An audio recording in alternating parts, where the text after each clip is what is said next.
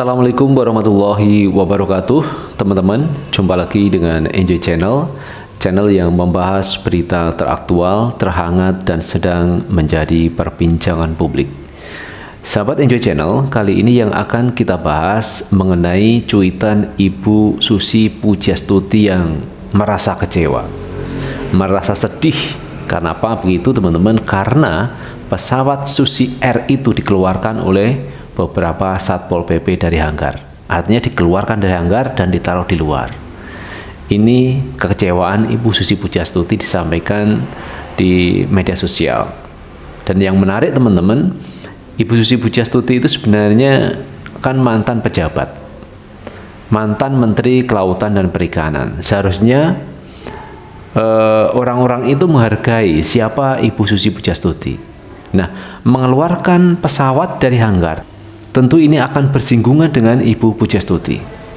Dan akhirnya benar teman-teman, Ibu Susi Pujastuti itu membuat tulisan di media sosial, merasa kecewa dengan sikap yang ditunjukkan oleh Satpol PP karena mengeluarkan pesawat Susi Air itu dari hanggar.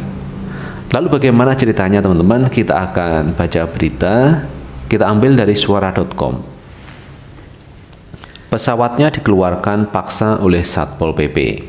Susi Pujiastuti mengatakan, kuasa begitu hebatnya. ya tentu teman-teman orang yang berkuasa itu hebat. Mantan Menteri Kelautan dan Perikanan Susi Pujiastuti harus menelan pil pahit di siang bolong. Pasalnya, ia baru mendapatkan kabar bahwa pesawat milik Susi Air dikeluarkan paksa dari hanggar Malinau Hal ini dinyatakan sendiri oleh Susi pada cuitannya Rabu 2 Februari 2022. Seringkali ada kejutan dalam hari-hari kita, ungkap Susi di akun Twitternya. Kejutan hari ini saya dapat video dari anak saya tentang pesawat Susi Air dikeluarkan paksa oleh sekumpulan Satpol PP dari hanggar Malinau, imbuhnya. Padahal menurutnya Susi Air sudah 10 tahun melayani rute reguler dan perintis dari Bandara Kolonel RA Besing Malinai, Kalimantan Utara. Pengusiran tersebut diduga dilakukan oleh pemerintah Kabupaten Malinau. Kuasa wewenang begitu hebatnya, apa yang kau lakukan 10 tahun terbang dan melayani wilayah di Kaltara yang sulit dijangkau Ternyata, ungkap Susi. Pada cuitannya, Susi menyematkan dua video yang menampilkan puluhan Satpol PP tengah menarik paksa pesawat Susi Air dengan alat berat. Cuitan Susi tersebut tentu mendapatkan berbagai respon dari warganet. Saya yakin dengan adanya kejadian ini tidak menggetarkan hati ibu untuk tetap mengkritik pemerintah, komentar warganet miris imbuh warganet lain. Baru tahu, lalu Satpol PP juga bisa action di bandara, tambah warganet lain. Satpol PP ini kedudukannya gimana sih? Nggak paham jadinya. Tulis warganet di kolom komentar. Saat berita ini dibuat, video yang diunggah Susi telah ditonton lebih dari 55.000 kali.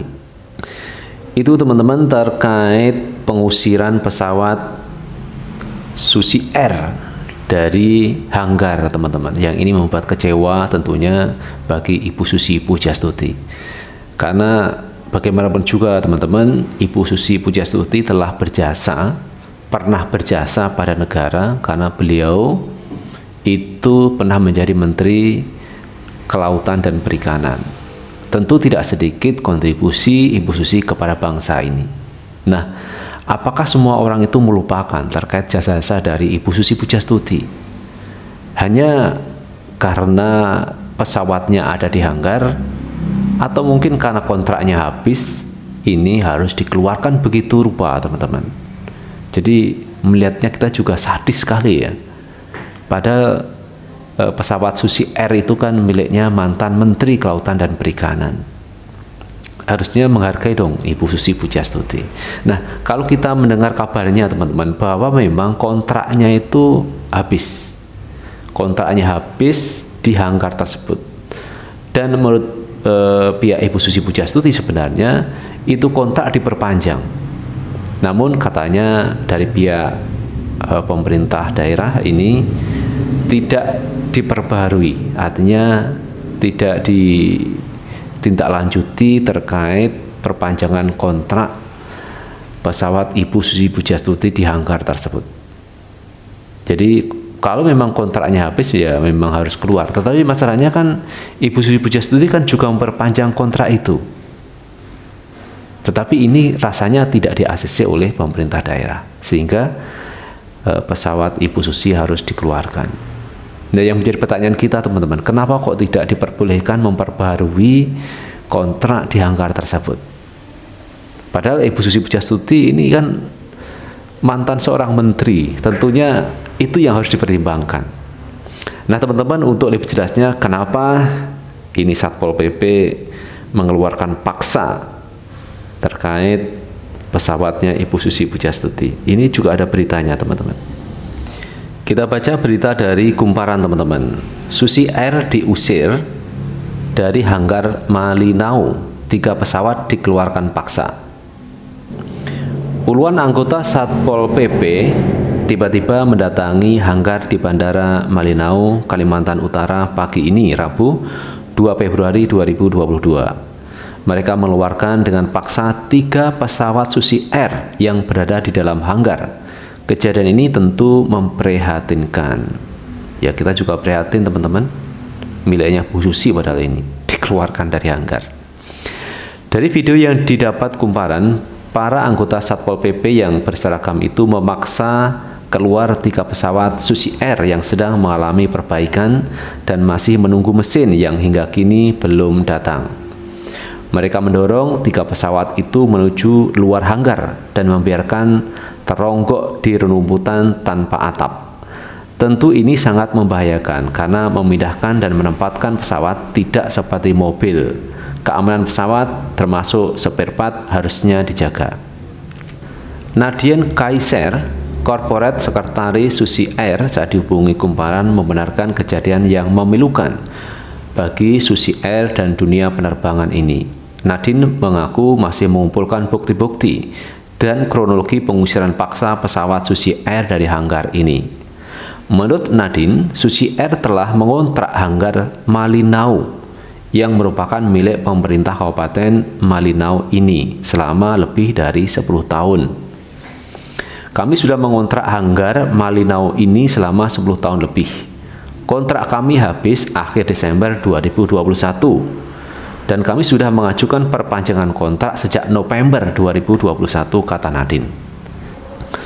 Jadi ini cukup jelas teman-teman yang disampaikan oleh Nadine bahwa kontrak Susi R itu berakhir pada Desember 2021. Tetapi pihak Nadine ini mengajukan perpanjangan sejak November. Jadi sebulan sebelum berakhir dia sudah mengajukan perpanjangan kontak.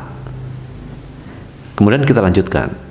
Tim Susi Air, kata Nadine, sudah berkomunikasi dengan Bupati Malinau terkait pengajuan perpanjangan hanggar ini. Tahun kemarin kita bersurat untuk memperpanjang kontrak untuk 2022. Tapi permintaan ini ditolak jelas Nadine. Kok sekarang pihak Pemda bilang kami diusir karena tidak pernah perpanjang kontrak? Informasi yang didapat tim Pemkap Malinau sudah memberikan kontrak hanggar ke pihak lain. Sambung Putri Susi Pujastuti yang merasa aneh dengan sikap Pemkap Malinau ini. Menurut Nadine, Susi Air berkepentingan dengan hanggar Malinau karena untuk tahun 2022 ini Susi Air yang mendapatkan kontrak untuk penerbangan reguler dan perintis untuk Kaltara termasuk Malinau. Tahun-tahun sebelumnya Susi Air juga mendapatkan kontrak yang sama. Seharusnya kontrak hanggar ini diperpanjang untuk mendukung penerbangan yang dilakukan Susi Air ujar Nadine. Kontrak hanggar Malinau kata Nadine selama ini memang diperbarui tiap tahun karena kontak penerbangan perintis itu diputuskan oleh pemerintah juga setiap tahun dan kami sudah mengontrak hanggar ini sudah 10 tahun lebih kata Nadine yang terlihat sangat kecewa dengan pengusiran Susi Air dari hanggar Malinau nah itu teman-teman terkait pengusiran paksa pesawat Susi Air dari hanggar oleh Satpol PP menurut keterangan dari pihak uh, Susi Air bahwa pihaknya itu sudah mengajukan perpanjangan kontrak sebelum kontraknya itu habis. Tapi ternyata tidak di ACC dan menurut keterangannya teman-teman uh, kontrak itu diberikan ke yang lain. Sehingga pihak Susi Air ini tidak punya hak menempatkan pesawatnya di sana. Dan tentunya ini dikeluarkan dari pihak Satpol PP. Dan ini yang membuat kecewa dari Ibu Susi Pujastuti maupun Susi R. Kenapa seperti itu? Padahal Ibu Susi atau pihak Susi R ini sudah mengajukan perpanjangan kontrak anggar. Tetapi ini tidak di ACC.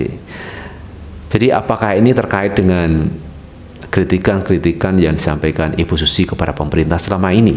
Karena kalau kita lihat teman-teman, semenjak Ibu Susi tidak menjadi menteri ini beberapa kali telah menyindir pihak pemerintah apakah ini ada kaitan dengan politik? Karena bagaimanapun juga teman-teman, bisnis ini juga bisa dikaitkan dengan politik. Kalau seseorang itu tidak mendukung penguasa, bisa jadi bisnisnya akan menjadi masalah. Jadi apakah ini ada kaitan dengan politik atau tidak? Tetapi yang pasti Ibu Sisi merasa kecewa, merasa prihatin dengan sikap-sikap yang begitu hebatnya seorang yang punya kuasa sehingga harus mengeluarkan pesawatnya Ibu Susi Pujiastuti. Lalu bagaimana menurut pendapat teman-teman sekalian? Tulis di kolom komentar karena komentar teman-teman akan sangat bermanfaat untuk yang lain. Sukses selalu. Assalamualaikum warahmatullahi wabarakatuh.